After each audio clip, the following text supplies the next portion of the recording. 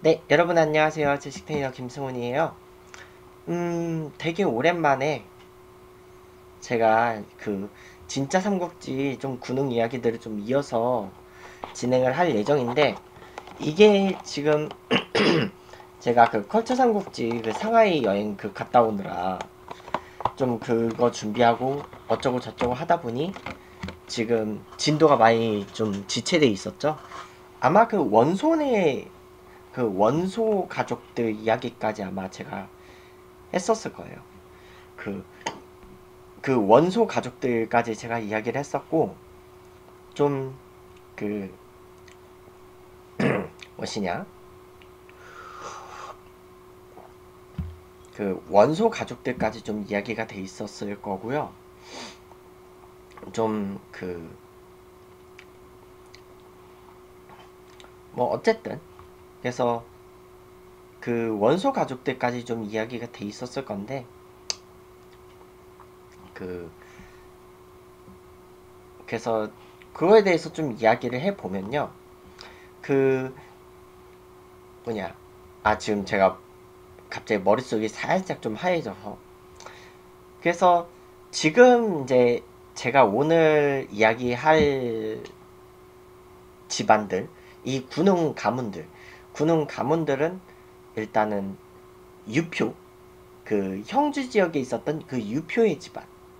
그리고 그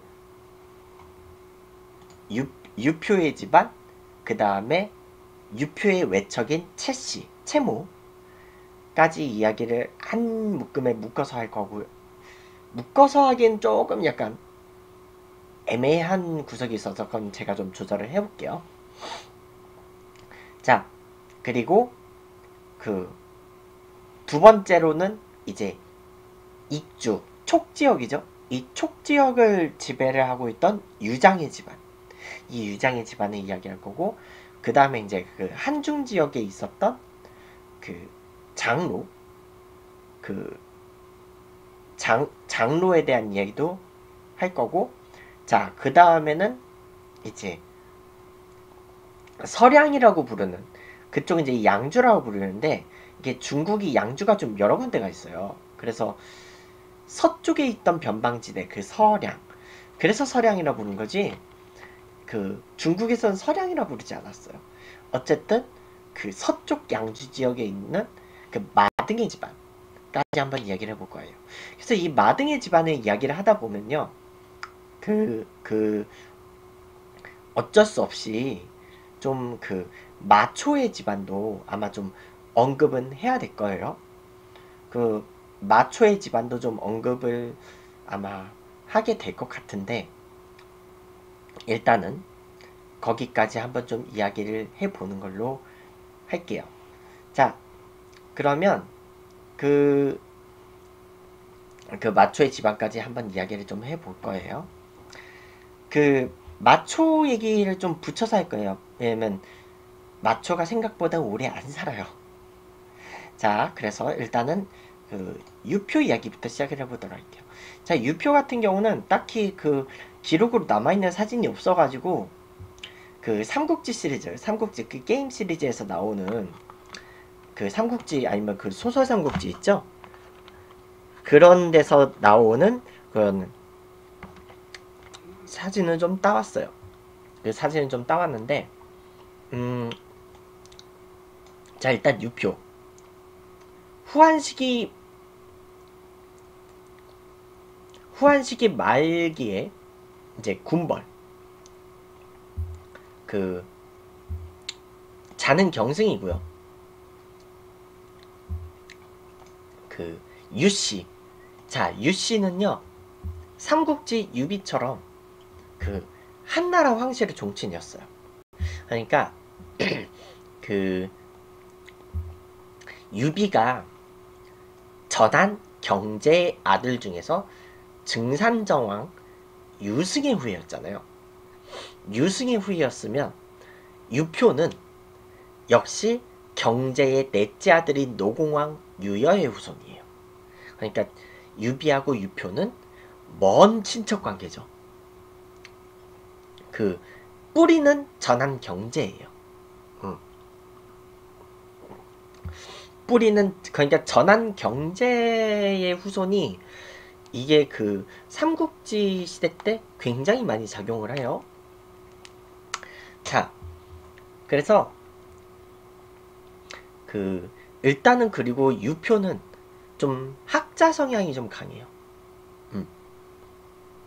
그래서 그 남양태수 왕창이 유표를 가르쳐 줬어요. 그래서 유표가 그의 제자고 그 나중에 왕찬이 형제 자리 잡는 데도 기여를 하기도 해요.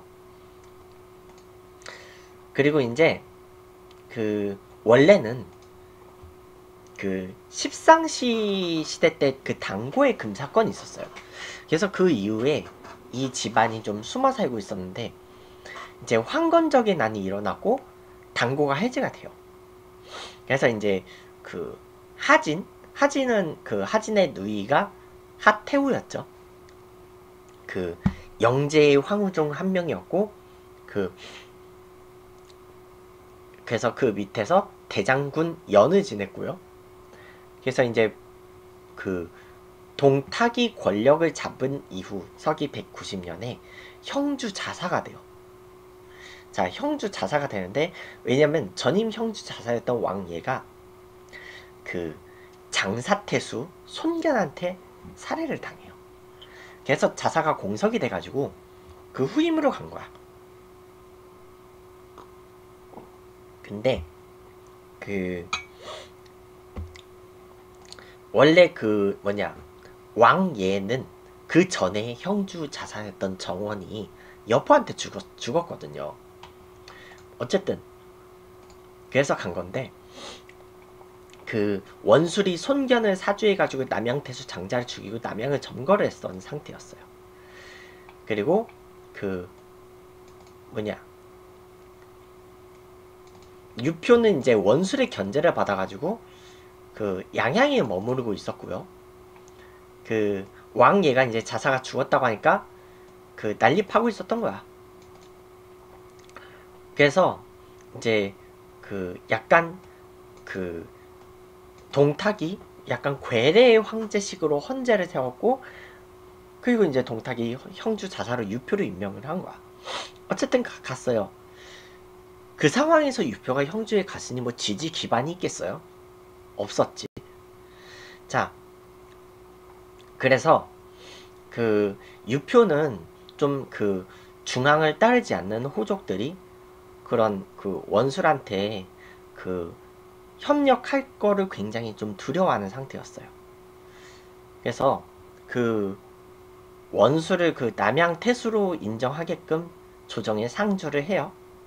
어쨌든 그 주변 세력들하고는 좀 협력을 해야 되니까 제가 지금 당 좀 보충해가서 먹어가면서 할게요. 좀 그냥 편하게 얘기하는 거라서.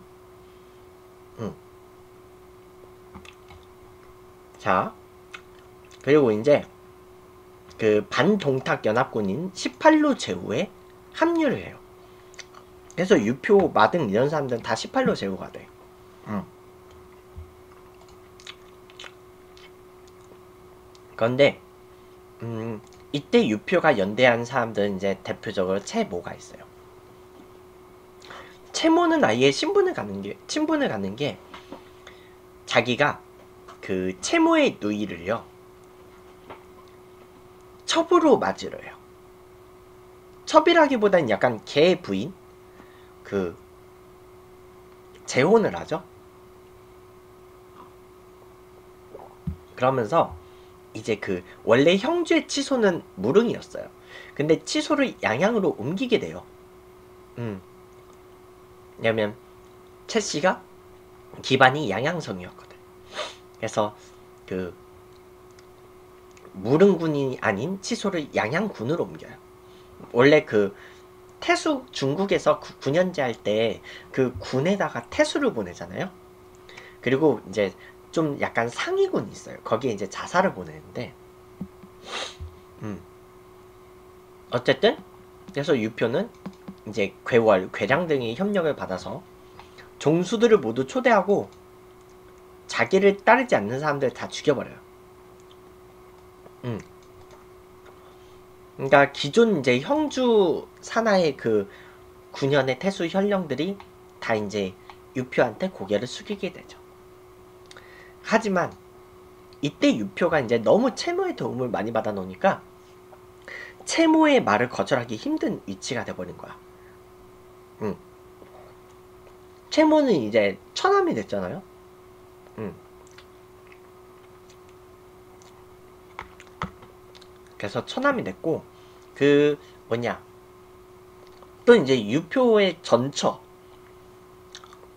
그 유표 같은 경우는 이제 사별해서 재혼을 한 거기 때문에 유표의 전처의 조카가 그 제갈공명의 부인이에요.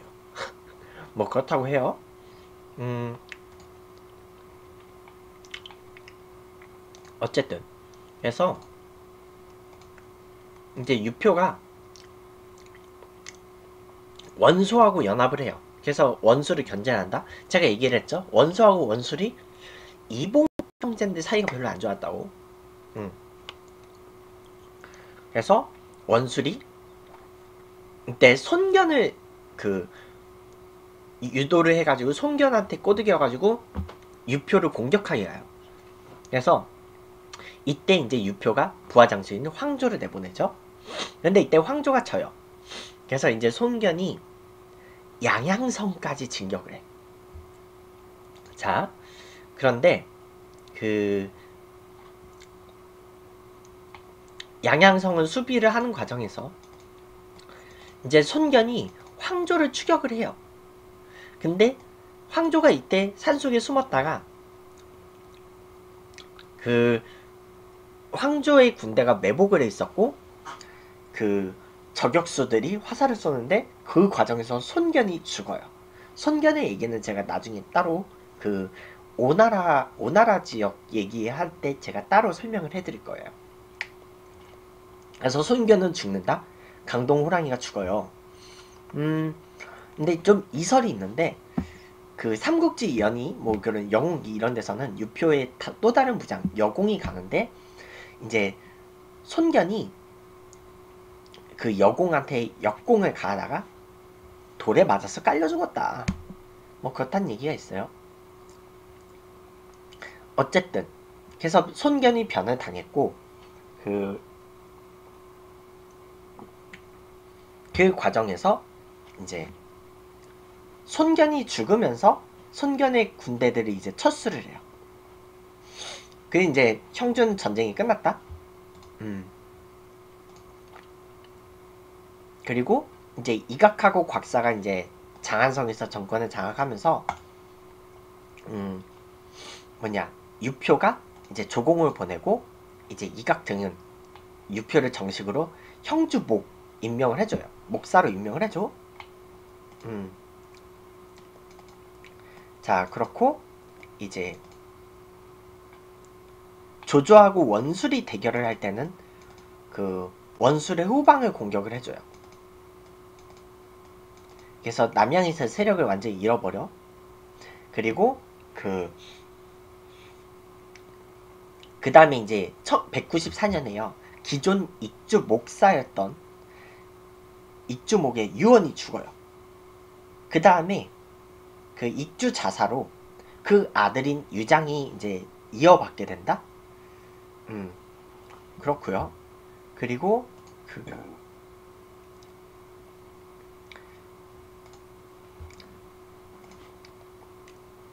그 다음에 그 다음에 이제 동탁의 부하 중 한 명인 장제가 196년에 죽어요. 그 장제 조카인 장수가 이제 형주 형주 쪽하고 이제 관계를 맺죠. 장수는 나중에요 조조한테 항복해요. 근데 이제 그 과정에서 항복 과정이 좀 늦어지는데 그때 이제 조조의 부하인 전위가 죽죠. 전위하고 그 조조의 첫째 아들인 조왕이 죽어요. 이제 죽고요. 음, 자, 그 다음에 그,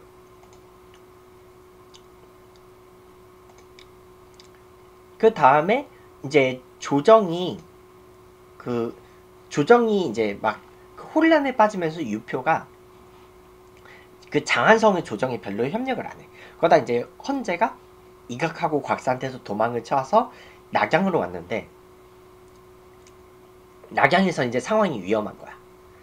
그리고 이때 산동에 있었던 조조가 낙양성에 있던 헌재를 이제 자기 세력권에 있던 허창으로 이제 모셔가죠. 허창성으로.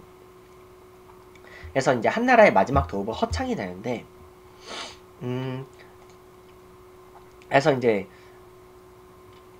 허창으로 천도 후 4개월 뒤, 음, 그, 일단 장수에 대해서 1차 공격을 해요. 근데 이때 장수는 조조한테 항복하는 척을 했는데, 문제는 조조가 그때 술이 취해가지고 추태를 부려요. 그래서 조조가 조조를 기습을 했고 이 과정에서 이제 조조의 첫째 아들인 조왕하고 이제 부장 중에 한 명인 전이가 죽죠.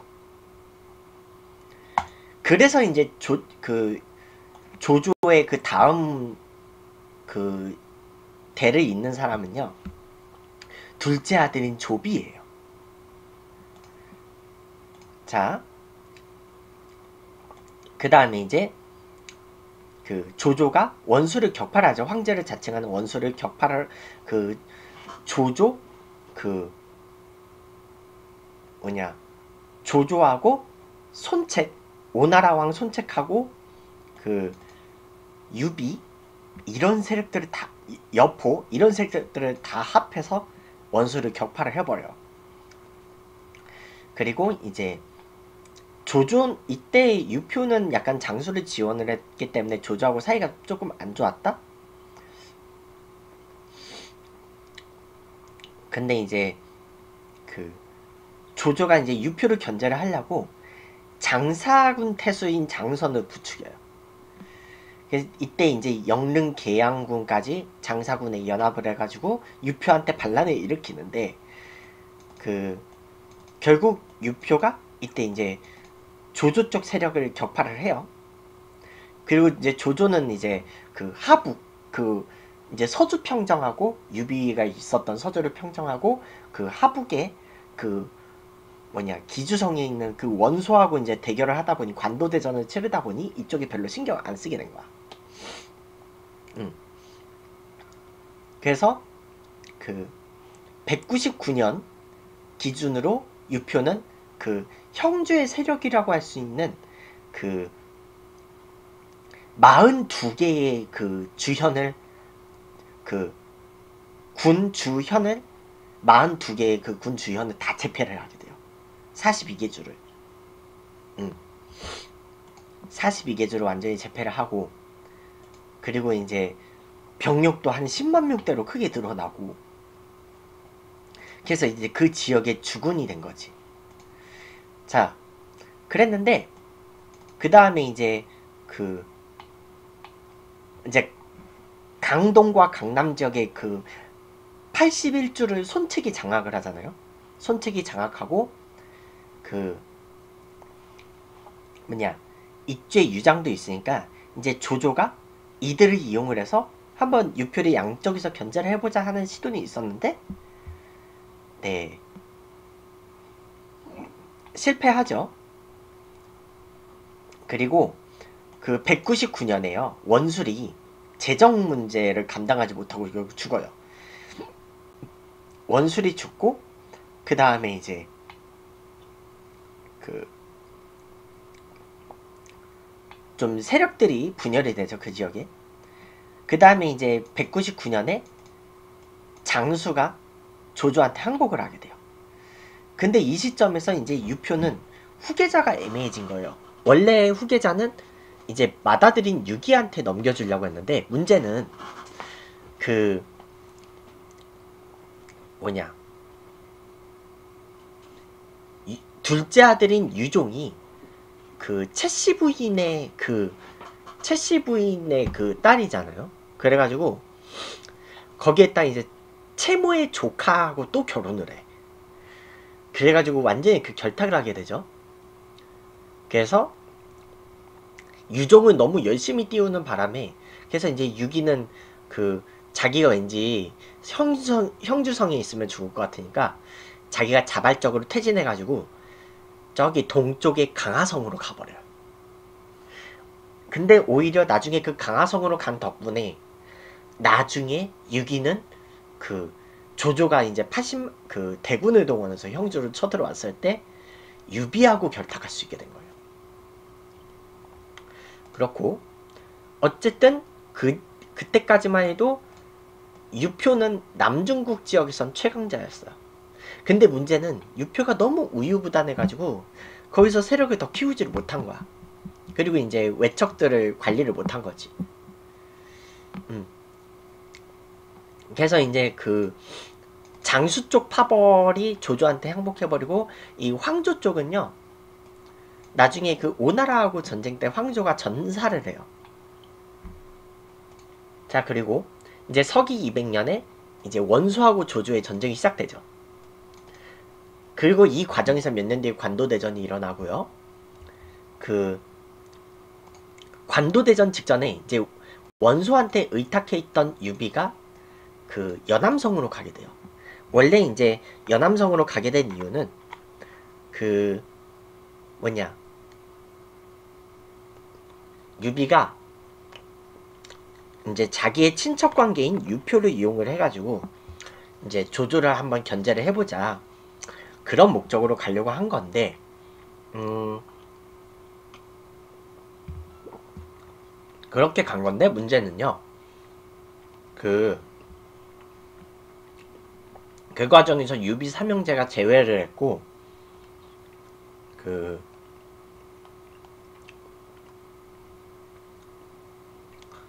제외를 하고 그 다음에 연암성에서 아예 한 8만 명 정도 모여가지고 재기를 해버리죠. 재기를 해버리고 그 유표한테는 연락을 안 하고 당장은 그런데 이제 이 과정에서 그 원소가 다시 그 관도대전이 일어나요. 관도대전이 일어나고 이 관도대전에서 원소가 죽고 근데 이제 관도대전이 일어나는 계기는 사실 그거예요. 그 시점에 손책이 죽거든요. 손책이 죽고 송권이 원소와의 관계를 좀 소원하게 한 거야. 그래서 이제 원소하고 조조하고 이제 관도대전을 이렇게 겪고 근데 이 관도대전이 끝나고 그 다음에 이제 원소가 한 죽은 원소가 죽었어 원소가 죽은 과정에서 그래서 오나라가 투상 중이기 때문에 조조가 근데 이 과정에서 조조가 이제 북쪽 몽골 몽골 정벌을 가겠다 하고 갔는데 대군이 전부 다 가는 척하다가 일부만 몽골로 보내고 나머지는 우회해서 그 당시 허창을 비우고 있었던 그 사이에 이제 유비가 이제 공격을 해가기 시작한 거야. 그 유비를 기습한 거예요. 그래서 유비가 이제 거기서 싸움에서 대패하고 군사 다 털리고 그제서야 이제 형주로 가게 되고 그 조조는 이제 원소의 아들들을 토벌을 하고 오죠. 그래서 그때 이제 조조는 요동성을 제외한 나머지 하북 지역을 다 평정해요. 그때 요동을 평정하지 않았던 이유 요동 태수였던 공손연이 그 조조한테 협력을 했기 때문에 안, 그 당장 토벌을 안 한 거야. 그래 나중에 이 공손연은요. 그 나중에 그 위나라까지 가서요. 이제 조조 말기에 등장하는 사마이가 있죠. 사마이가 공격을 해요. 위나라 사마의하고 고구려 동천왕의 그 지원병, 그 고구려의 협공으로 인해서 요동은 깨지게 되죠. 뭐 그래요.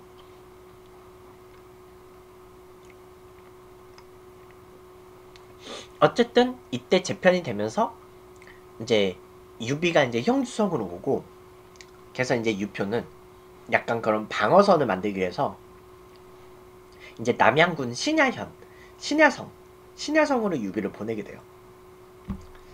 음. 그리고 이제 아무래도 친척이다 보니까 유비를 굉장히 후하게 대접을 하고 그 지역에 대해서 약간 좀 나름 자치권을 준 거야.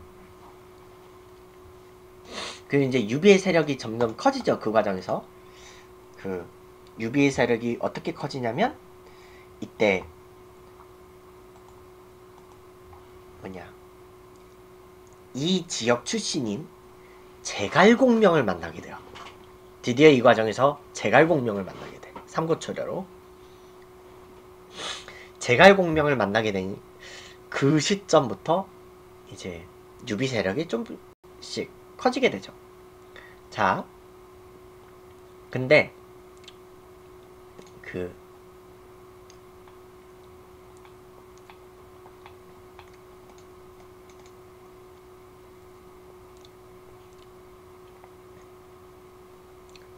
어쨌든 그, 그 과정에서도 유표는 일단 조조의 배후를 안 친 거야.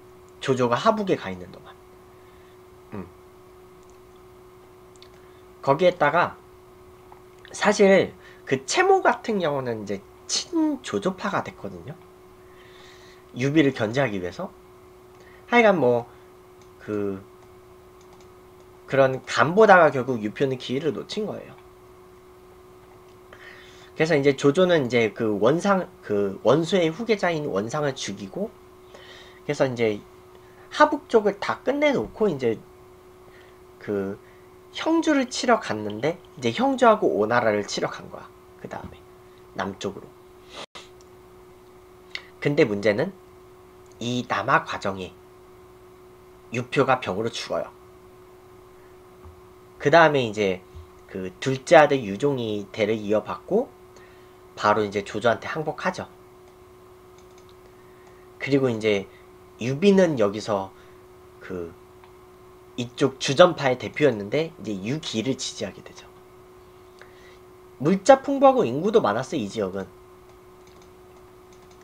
그래가지고 음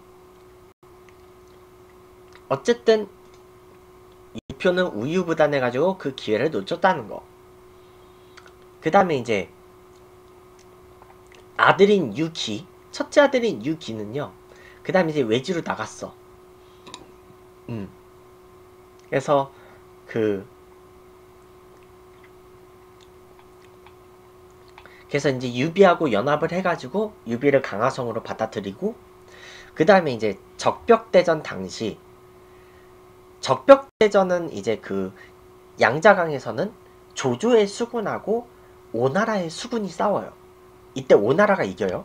오나라가 적벽대전에서 이기고 그 다음에 그 적벽대전에서 지고 그 뭐냐 패잔병들 이끌고 형주성으로 돌아가던 조조한테 그 일격을 가한 게 이제 유비 유비의 그 군대였는데 유비는 이때 병력이 별로 없었기 때문에 그 유기한테서 병력을 받아서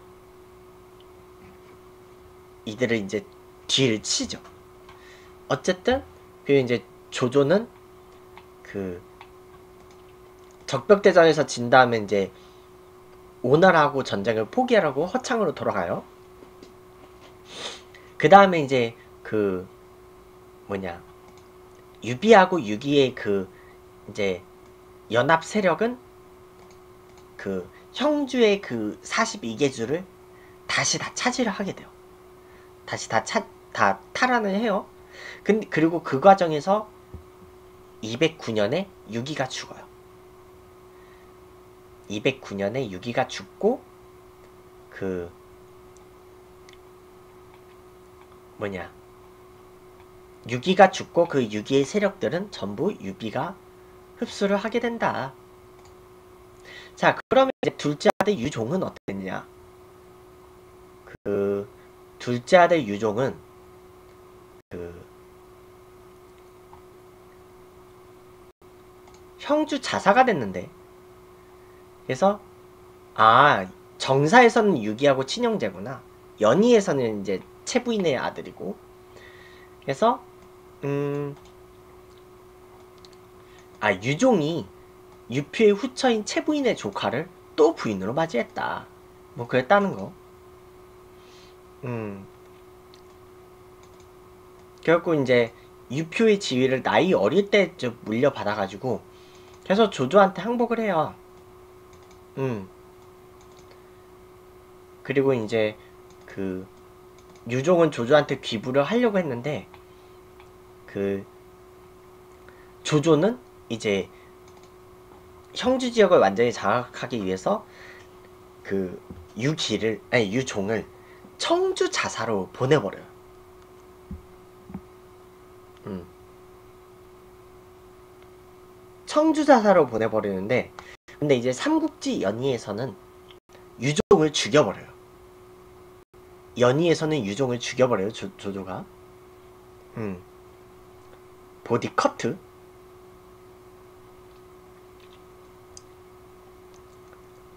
어쨌든.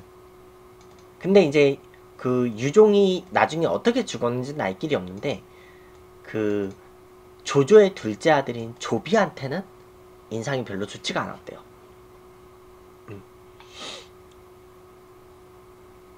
뭐 그렇다고 해요. 그래서 어차피 그 나중에 그 하차 하차니까 음 정사하고는 다르게 그 청주 자사로 부임을 받아 가는 도중에 조조의 부하인 우금한테 죽임을 당해요. 뭐 그렇다는 얘기가 있어요.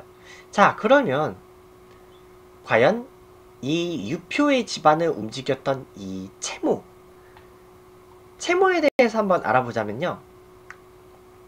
자 채모는 그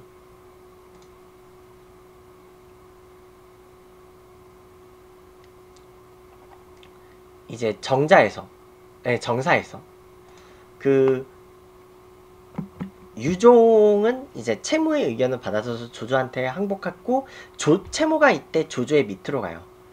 그 그래서 조조의 수군을 지휘하게 돼요. 왜냐면 이제 조조가 그 근데 이제 그 사람들이 이제 채모를 별로 안 좋아했는데 조조만 그를 잘 대했다 그래요. 어쨌든 채모 역시 정사에서는 조조한테 항복한 뒤의 길은 알 수가 없어요. 하지만 삼국지 연의에서는 그 이제 채모가 조조 밑에서 수군을 지휘하는 것까지는 똑같아. 그런데 문제는요. 그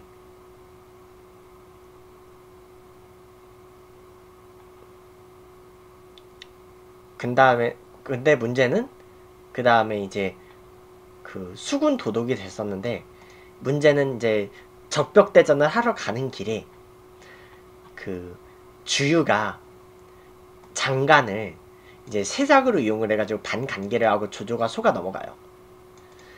그래서 채무는 적과 내통했다는 혐의가 씌어진 채로 죽어요. 그래서 이때 수군사령관이 바뀌어버리는 바람에 조조는 적벽대전에서 패하게 된다. 뭐 어쨌든 삼국지 연희가 2차 창작을 했다는 거예요. 자 그러면 이제 그 유표의 집안 이야기는 여기서 마무리를 하고 그 다음에는 제가 그 유장애에 대해서 한번 이야기를 해보도록 할게요. 지금 잘 끊어내야